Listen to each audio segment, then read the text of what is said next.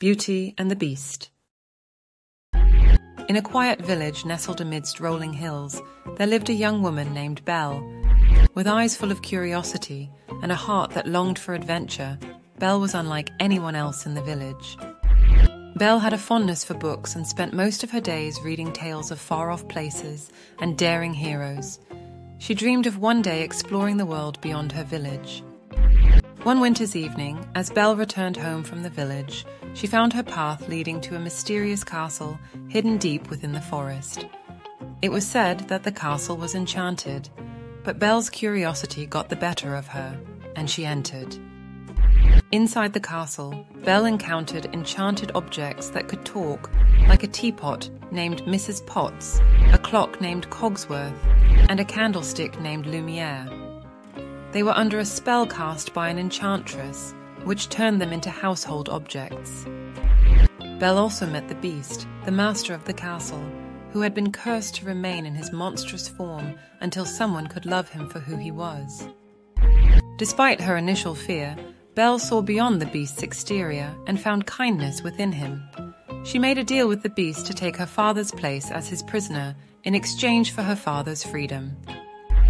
The beast had an enchanted rose that played a crucial role in breaking the curse.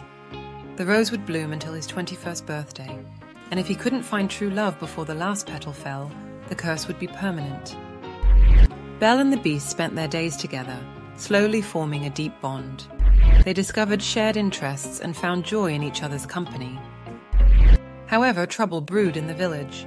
A vain and arrogant man named Gaston, who desired to marry Belle, led the villagers to storm the castle, threatening to kill the beast.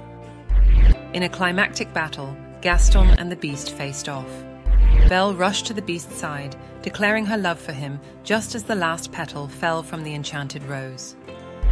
Belle's love broke the curse, transforming the beast back into a prince. The enchanted objects were restored to their human forms, and the castle was no longer hidden. Belle and the prince lived happily ever after in the now magical castle, surrounded by their friends and the enchantress's spell broken. And so, Belle's love and curiosity had led her to a world of enchantment and a love that transcended appearances, reminding us all that true beauty lies within. The end.